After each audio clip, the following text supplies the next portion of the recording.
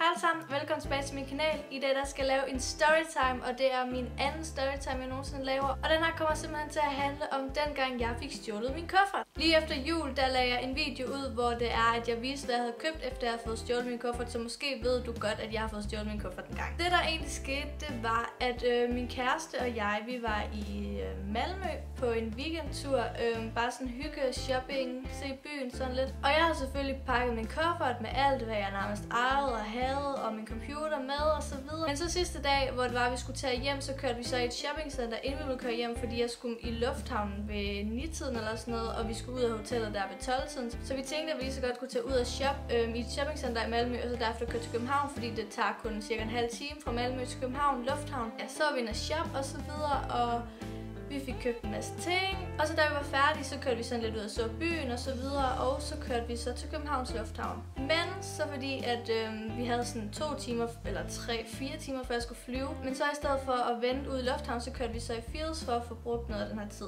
Vi var så i Fields, og jeg fik også købt nogle ting der. Jeg var sådan rigtig shoppehumør den weekend. Så kommer vi tilbage til bilen, og så siger jeg til Nikolaj, skal vi ikke lige samle poserne, og så... Øh, få lagt dem i min kuffert bag bilen. Så åbner jeg selvfølgelig bagagebadet øhm, på bilen, hvor det er, at jeg så med det samme ser, at min kuffert er væk, og Nikolajs kuffert den står helt åben. Og det første, jeg ligesom siger til Nikolaj, det er, hvor er vores kufferter?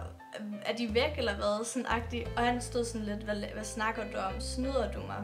laver det sjov. Og jeg så sådan, nej, det er grav alvor, vores kuff- min kuffert er her ikke. Og så kom han så over for at se, og øhm, ja, det var rigtigt nok. Min kuffert, den var der ikke, og han stod åben, og vi var sådan, fuck. Ved siden af min kuffert, der stod min øhm, skoletaske, hvor var, jeg havde min computer i, og alt muligt andet, lader og så videre. Og så lige efter, så tænkte jeg, åh oh, nej, er min computer også stjålet nu?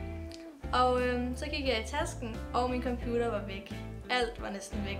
Min solbriller, min computer, min elskede MacBook. Ja, alt var simpelthen væk. Og Nikolaj, vi blev sygt sådan, fuck, hvad fanden gør vi? Og med det samme, så kigger Nikolaj selvfølgelig også i sin taske, og alle hans frisørsakser var også stjålet. Øhm, og der er altså en værdi af 10.000 kroner der af sakse, så... Og det er jo ligesom også, han skal også bruge sine sakse som et, som et slags værktøj til hans arbejde, så det var jo ikke så godt, at de lige pludselig var stjålet, fordi hvad fanden skulle han så klippe med? Han, altså han arbejder jo hver dag med at klippe. så ja, det var virkelig sådan, fuck. Men øh, jeg var helt ud af den, og jeg ringede til min mor, og jeg var næsten, jeg vidste ikke, om jeg så græde eller grine. Altså, jeg stod bare sådan, det i sådan en situation, hvor jeg tænkte, hvad fuck er der sket? Altså, seriøst. Jeg, jeg, måske kunne I lige forestille jer det at komme tilbage til en bil, og så er alt bare væk. Altså, det er sådan, what?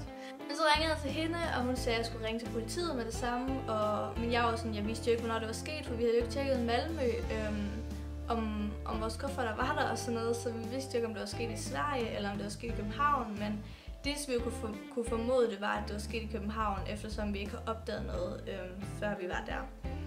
Øhm, så vi ringede til politiet, og de sagde, at jeg skulle kontakte den anden i løbet af aftenen. Jeg var faldet lidt ned, og jeg skulle skrive ned, hvad jeg havde fået stjålet, og skulle få kontakt forsikringen og så videre. Og så stod vi jo sådan lidt, hvordan fanden er de kommet ind i bilen, fordi vi jo var ret sikre på, at vi havde låst den. Og, altså man plejer at skulle låse døren til bilerne og sådan noget, men vi tænkte, åh nej, har vi nu lavet en ups, så har vi ikke fået låst, altså hvad er der lige sket?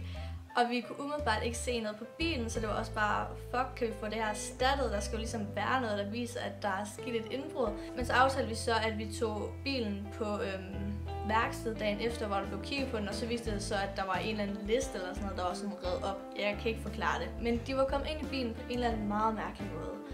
Og jeg, jeg fatter det stadigvæk ikke. Altså, jeg, jeg er ligeglad.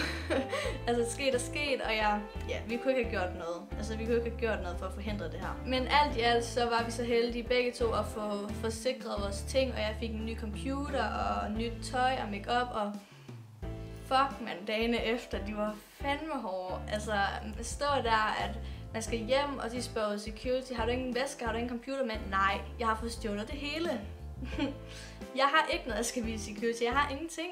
Og så da jeg kom hjem, jeg skulle ikke pakke ud, jeg skulle ingenting om morgenen, når jeg stod op. Jeg havde ikke noget make op at tage i fjæset, fordi jeg havde ikke engang nogen tandbørst. Altså, alt var jo bare stjålet. Altså, alt, hvad man nærmest brugt, det var fuck, det var irriterende.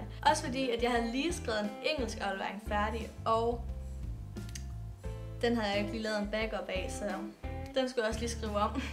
Så det var altså ret surt at få stjålet, men øh, det var sgu også meget lækkert med en masse nye ting og ny computer og så videre, øhm, så det klager jeg ikke over. Men ja, det var simpelthen bare en mega træls oplevelse. Jeg tror aldrig, jeg har prøvet noget lignende. Altså, jeg var sådan, wow, jeg havde det virkelig dårligt med det bagefter, og jeg følte bare ligesom, det var sådan lidt, det var sådan lidt ulækkert på en eller anden måde, og sådan lidt grænseoverskridende, at, at der er nogen, der har stået med hænderne ned i min taske, som jeg stadigvæk har, og stået og rodet med, og haft hænderne ned i Nikolajs kuffert, og ja, det var virkelig, virkelig, ej, jeg havde det virkelig sådan, wow, kan det her virkelig ske for mig? -agtigt. Men ja, som sagt var vi så heldige at få erstattet det hele, og så altså, der var jo ikke mere i det, og jeg har også glemt det i dag. Altså, det er jo bare en historie. Og så kan man også tænke over, at det her kunne have sket for en vær. Altså, det lige så godt have sket for nabobilen. Altså, det er bare gået ud over vores bil. Det kan selvfølgelig også være, at det er gået ud over de andre biler. Det ved vi jo ikke. Vi har ikke set det eller noget som helst. Men ja, det her var egentlig min historie om, da jeg fik stjålet min kuffert i bilen. Men ja, så må du meget gerne kommentere, hvad du synes om den her video, og øh, om jeg eventuelt skal lave flere storytimes ud i fremtiden. Og øh, giv meget gerne videoen et like, hvis du kunne lide den. Ja, så er der ikke andet end at sige, at øh, så ses vi bare i min næste video.